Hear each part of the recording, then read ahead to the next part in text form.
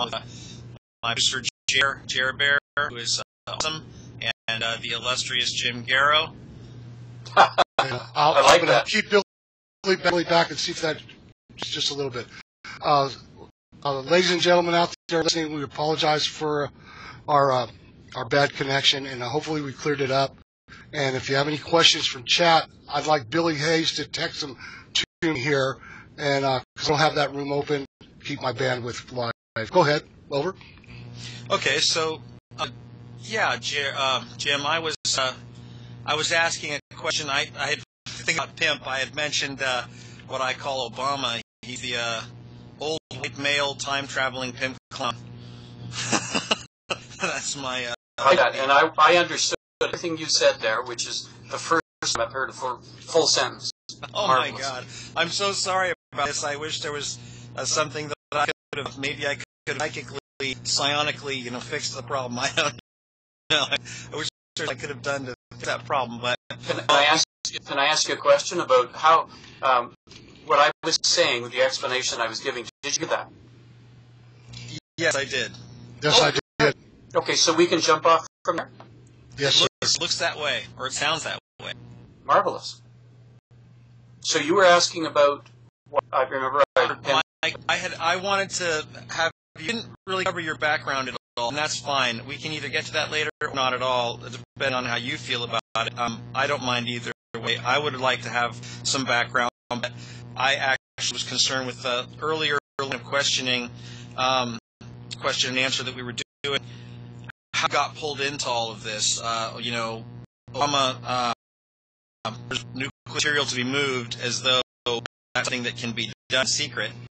And uh, the Department of Energy and the military watch this stuff very closely, as you had talked about, and, not to mention including that they fly, you know, it's over the area when this material's moved. You got fighters actually, you know, got, you got you got uh, air support in, in the form of fighter jets. So it's very serious stuff, and um, it's, not going to be something that's going to be, moved in, you know, unless they move it through some underground tunnel, and even then, the Department of Energy is going to know where it's going.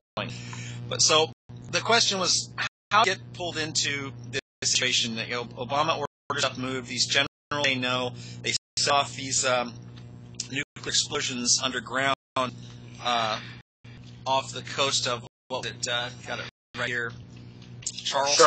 Charlotte. Yes. Charlotte. Okay. Charleston? Yeah, okay. in, in the ocean instead. Oh, uh, in ocean instead of Charleston.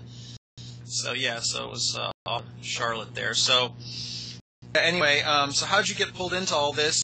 What was the effect? Because as I understand, you've been let go or fired from your position. So you want to go ahead and explain that? Sure. Uh, um, I'm going to go far back in time, this last year, so you get a, kind of setup of, of what happened and why I might have been called to this whole thing.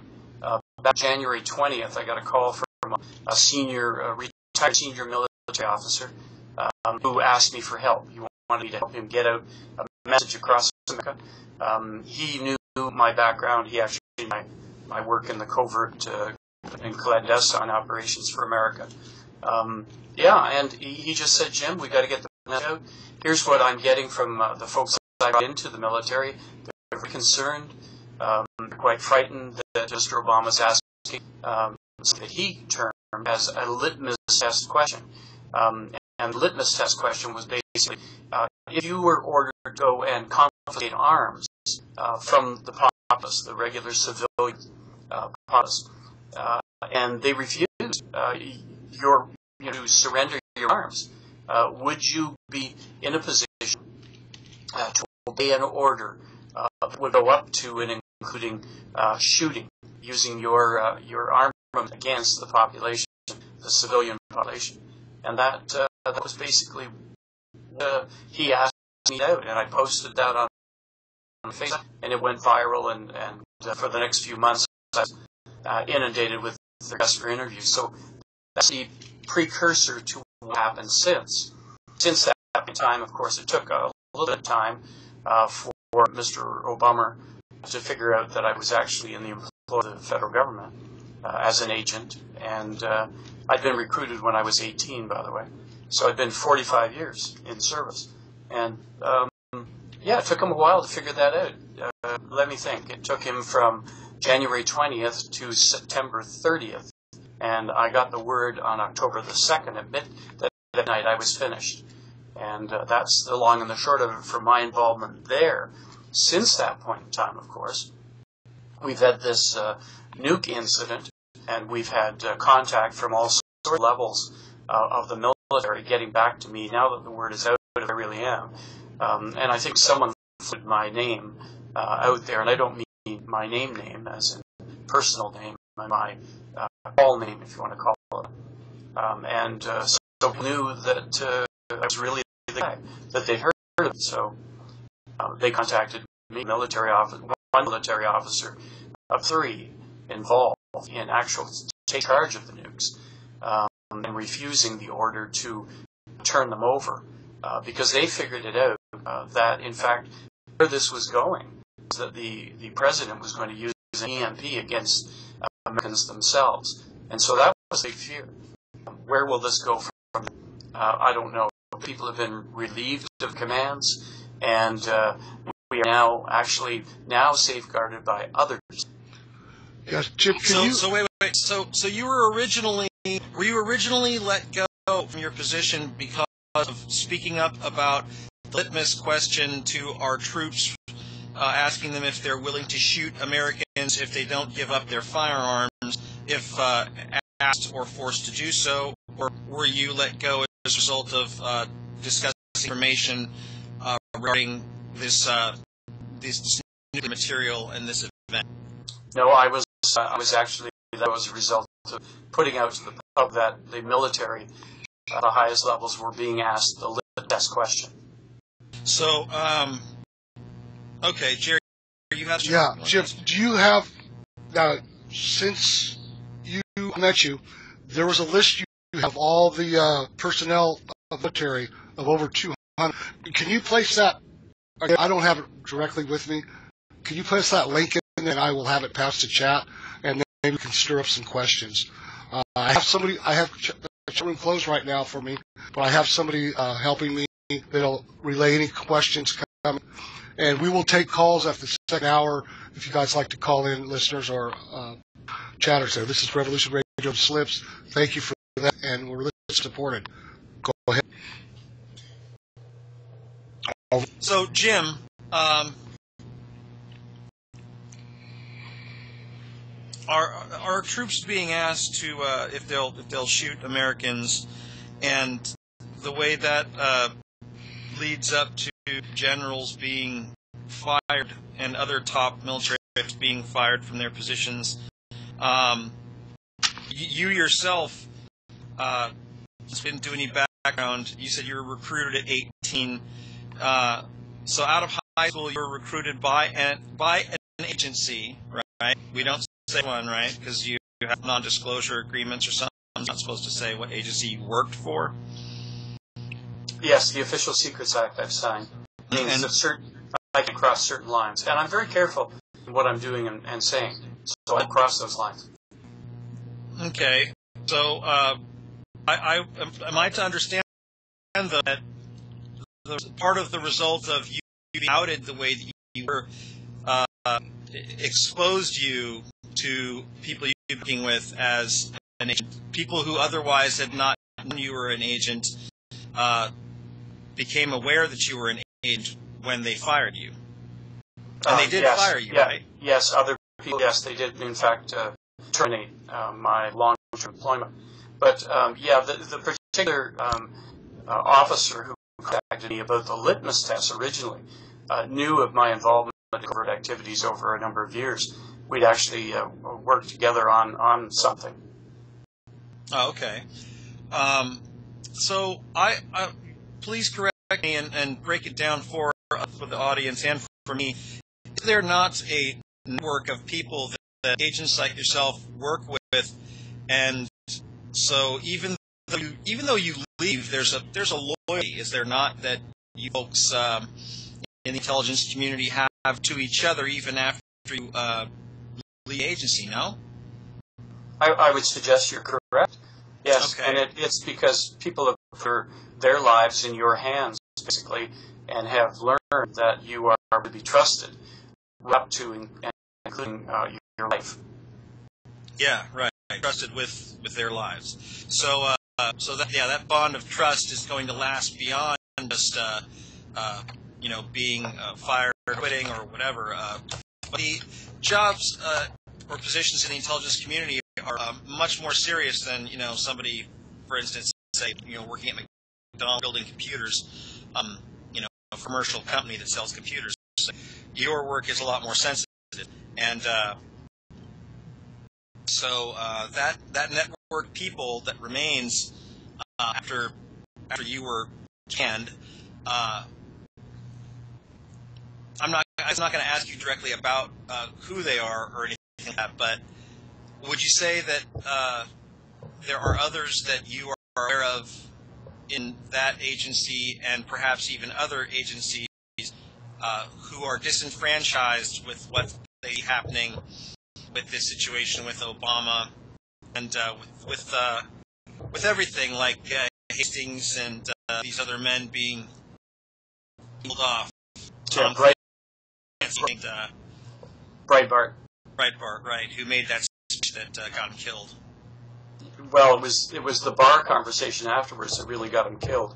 Uh, he was speaking too uh, too openly, obviously, and, and willing to talk about what he knew uh, right in public. And uh, uh, these folks were like, "Wow, crazy." Um, so they did him in. Yeah. So yes, I'm I'm uh, confident that there's a group of people out there who are looking to me to actually continue to speak out loud in public because now started, and uh, they know me and the position I held within our our agency. Um, I was the number two man in my in, in my uh, uh, group. Right. And so you still have a manner in which information can be passed along. You're still able to information, so you're still in a position, even though you've been fired, you're a man who is still in a position to uh, to move and shake, to make something happen, or you know, to get information and at least disseminate it at best. Yes, yes, I am. Okay, well that's that's a good thing. But uh, well, I guess then uh, we have a lot to, to discuss, and we want to discuss the firing of these generals as we have, and uh, uh, the nuclear event that occurred, uh, how and why. But I, I wanted to ask you a question um, that's related to uh, our troops being asked to, to shoot Americans. Uh, there's a lot that goes along that, and I wanted to ask if you're aware that the office of provost had been eradicated from military bases across America. Yes, I, am aware of that. Okay, and uh, do you want to? Uh, I can ask. Uh, I can. I can explain what a provost marshal is, but do you want to expound on uh, how you felt about about it when you discovered that the office of provost marshal had been eradicated and taken over by uh, home rate by security or uh, Department of what is it, human sacrifice? yeah, I like your terms. Um, well, you know, once again, provost marshal is a it's a um, military legal uh, kind of a position where they really safeguard law uh, and they make sure that everyone is acting according to law. Uh, it's their duty to report uh, when there are breaches of law and bring charges to bear if, if need be. So Now, um, now on the base, we might be talking about the UCM, Uni- Uniform Code of Military Justice, but otherwise, what we're mainly talking about, the provost marshal being uh, uh, responsible for maintaining law, uh, we're talking about the constitutional law, yes? We're, we are talking basically the Constitution. In fact, everything uh, comes from the Constitution. Uh, not really, um, nothing has power outside of the Constitution. Right, nothing usurps it. So anyway, you, you were talking about the provost marshal and how you right. uh, So, felt so there's a so there's an office uh, that regulates or at least uh, monitors uh, whether things are done within law or outside of law, and it would be that group of people who would be the first ones to blow the whistle, if you call it that, uh, to blow the whistle on orders that were not uh, constitutionally correct. They were illegal because our oath, of course, is to um, obey the orders. Sorry, uh, word out the law orders uh, of those above. So, uh, do you remember uh, when you discovered that the office of provost marshal had been uh, eradicated, taken over by uh, uh, DHS? Do you remember how you how you felt about that, or were you surprised? Uh, was it something that you knew coming? I wasn't surprised. You got to you got to remember we're watching the maneuver of a, of a tyrant, and so for these things to take place, it's just like, oh well, here's another one, uh, another move, another step, stripping away uh, the process of law and order. You know, just uh, one of those things, just the way it goes. Uh, can you mute, uh, Jared? Can you mute? So, uh, it, it happened. Jared, can you mute, please? So it, it happened around 2009, if I remember correctly. I've been uh, calling Irwin, and uh, uh, I got to talk to uh, agents for the provost marshal. I talked to the provost marshal uh, once briefly uh, for Irwin, California.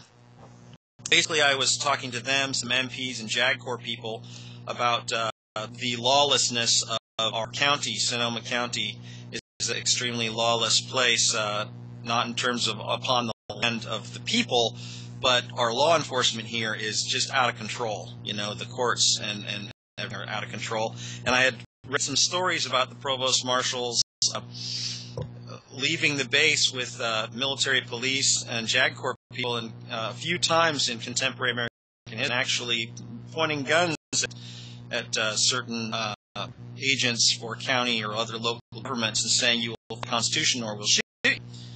Do you know anything about that? I've heard about it. Um, get on to another topic rather than talking we sure, about this? Sure can. It was just something I wanted to cover briefly.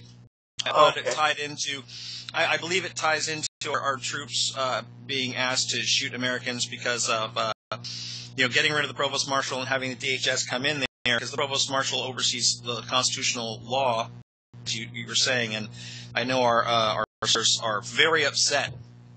I mean, I, I know that the soldiers are upset about it, you know, and then that at least is something that can give us some hope. But okay, let's let's move on. What would you? What else we talk about then? Get back to the the nuclear. Well, there are other things going on besides the nuclear event. That should be the scariest. Listen, you've had a confrontation where the president, the commander in chief, has made orders that were unlawful orders. They were unlawful for him to make. And the people in the trenches uh, respond, whose jobs are on the line, who had to sign off uh, on every step of the way, and said, no, we will not break the law in doing this. Uh, and they, in fact, put their lives and their careers on the line and took a bullet for the American people. Uh, they did. They stood firm uh, and said no to a man who heretofore not uh, countenance people who said no ever in his life. So they're heroes. In my mind, they should be given the Congressional Medal of Honor.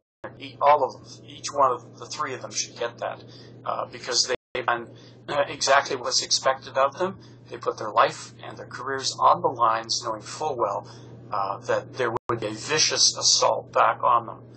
And uh, I can't speak to what's happened to them, uh, but we haven't heard one bit from two of them, and one is, is even rumored to no longer be with us. Well, that should be uh, a surprise, although it, it might make some of us uh, hearts sink, our hearts sink a little bit. We certainly want to see these men uh, uh, in a situation where, since they are truly American heroes, to prosper as opposed to be killed off. But uh, they defied the New World Order in a very direct manner because they're employed by the New World Order.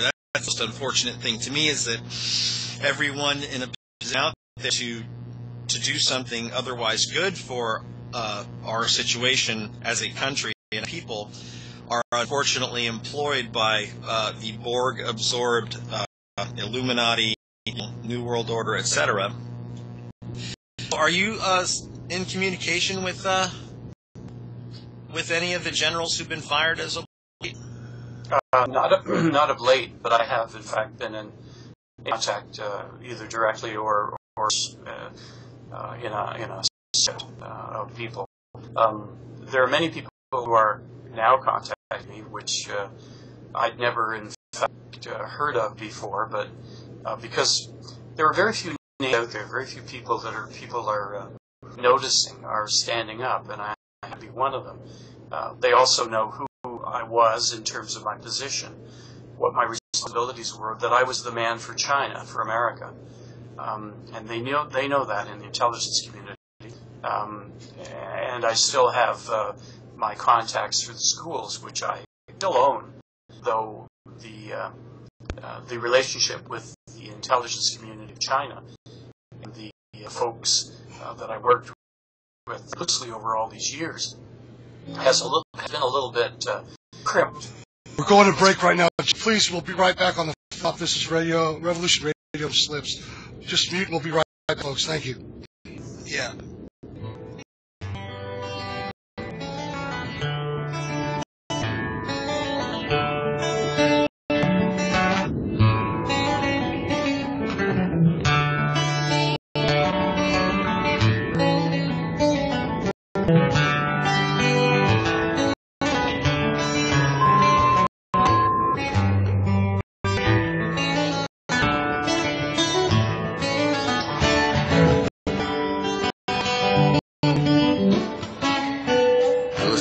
Revolution Radio at freedomslips.com. And we'll be right back after this message.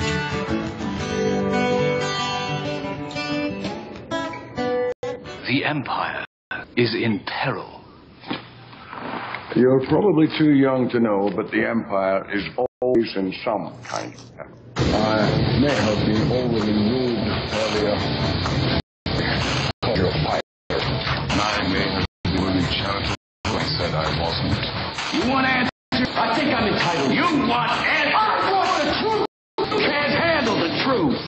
Be here Tuesday, 8 p.m. Eastern Time to catch Roxy Lopez straight from the Valley of the Sun. Discussions run from trails to sovereignty and to conspiracy facts. Join us for The Denied.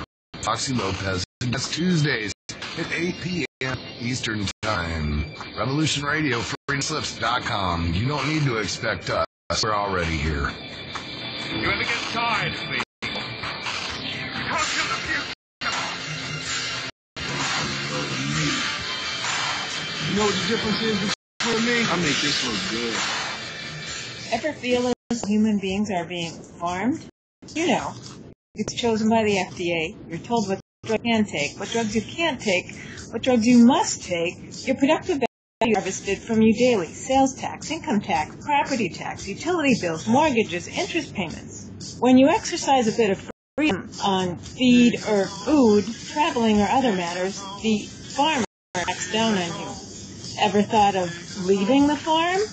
Learn how. Join Matt and Tammy for Leaving the Farm at 6 to 8 p.m. Eastern Time on Revolution Radio at freedomslips.com, Studio A. See you there or at the feed trough.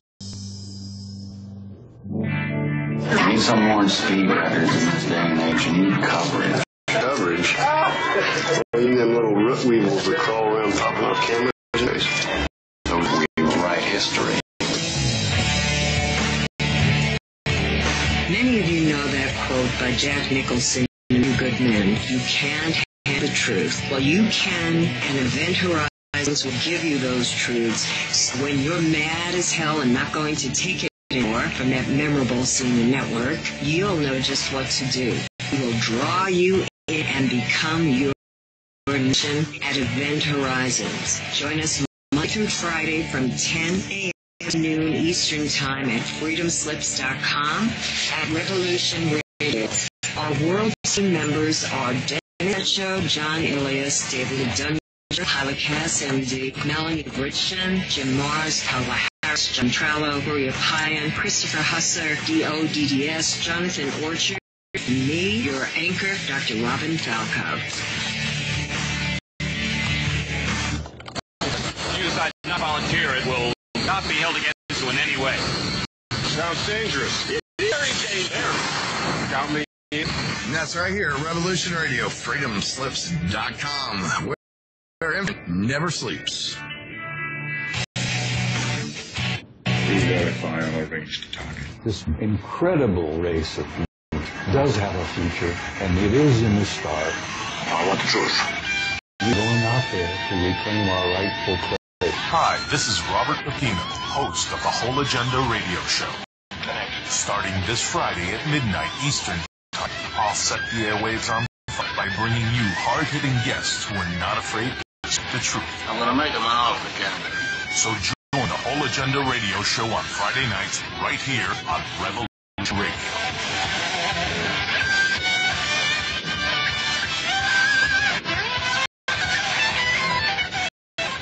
Oh, oh, oh. Merry Christmas. Merry Christmas, Merry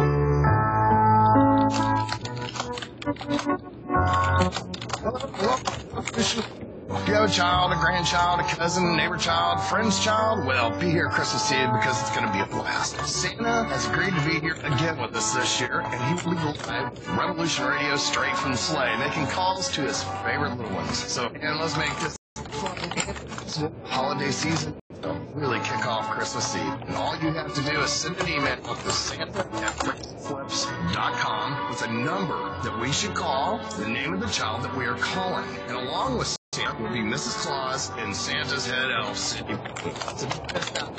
Fun for everyone and two. all have one. Jim, please mute, please. FreedomSlips.com where love and light should shine all year round.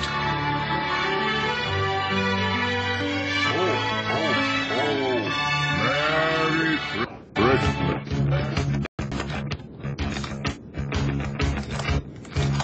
Revolution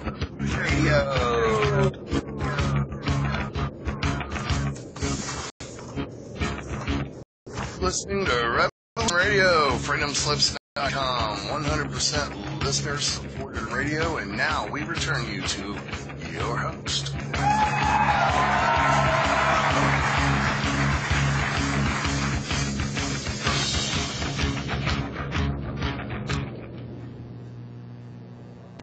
All right. Well, good morning, good afternoon, or good evening, folks. Back with you again on uh, Revolution Radio, listener supported. Please donations. FreedomSlips.com.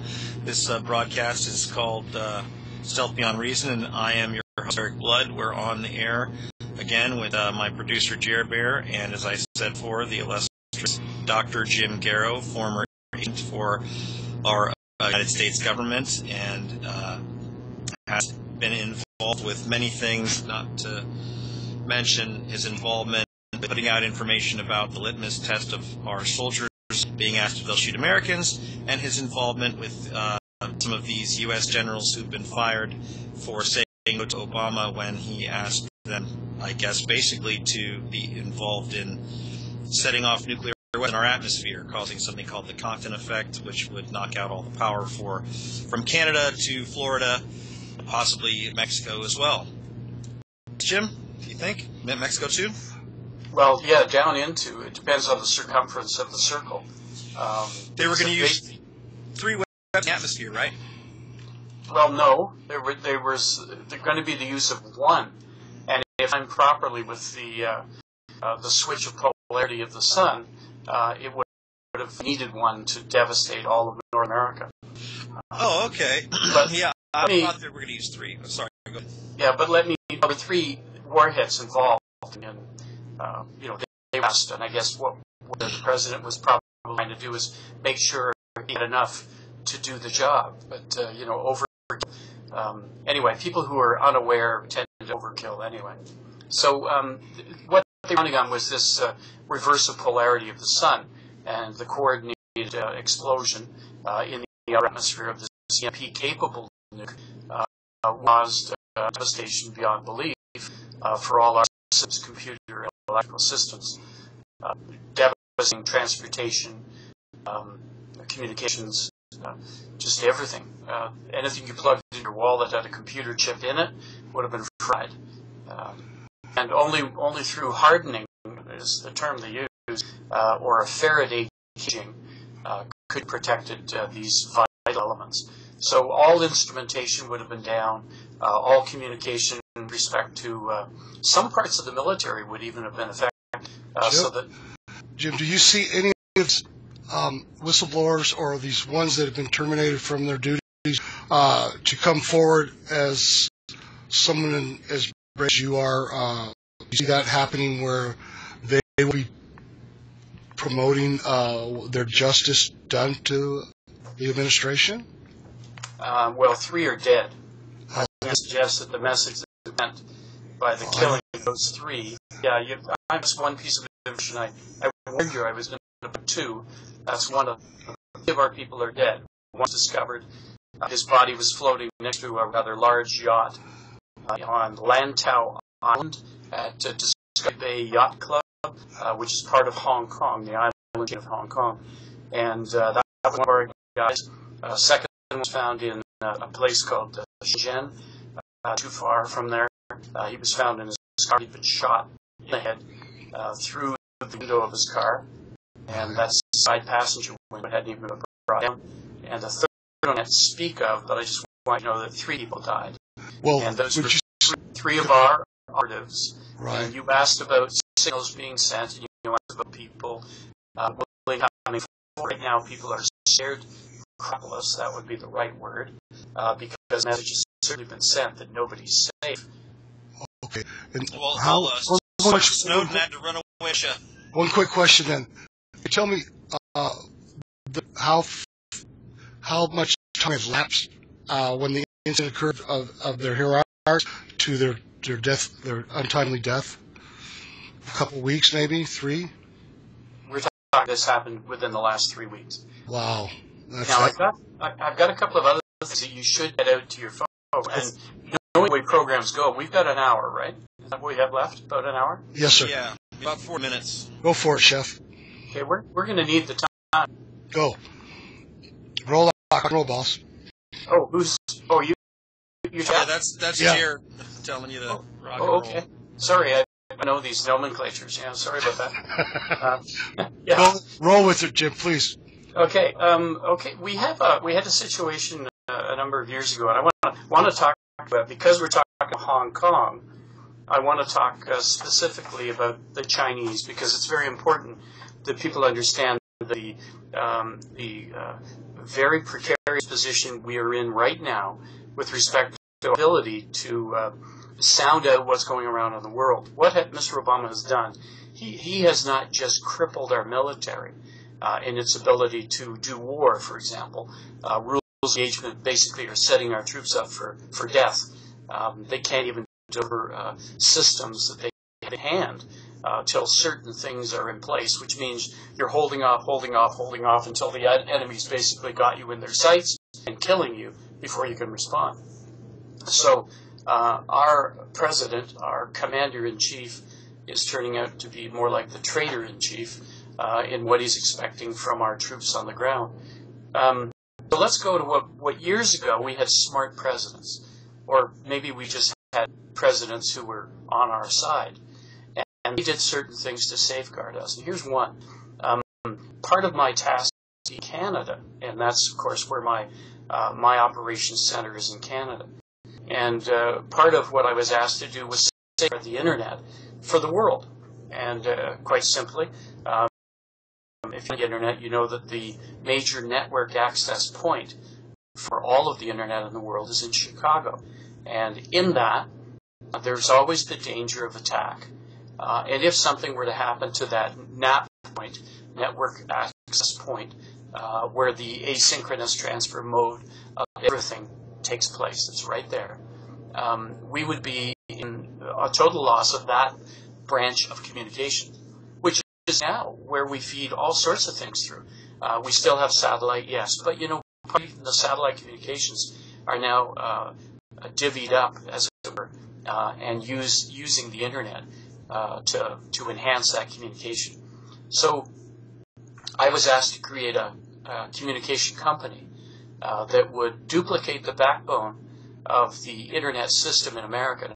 America had a real lot, a, a lot of problems with all of the little companies everywhere, different architectures. Uh, it wasn't going to work, uh, and so for a lot of areas, it took a lot, many, many years before they actually got internet service, and that had everything to do with the fact we have so many little private companies doing things their own way, and nothing matched. So it took all that time to get things to work together.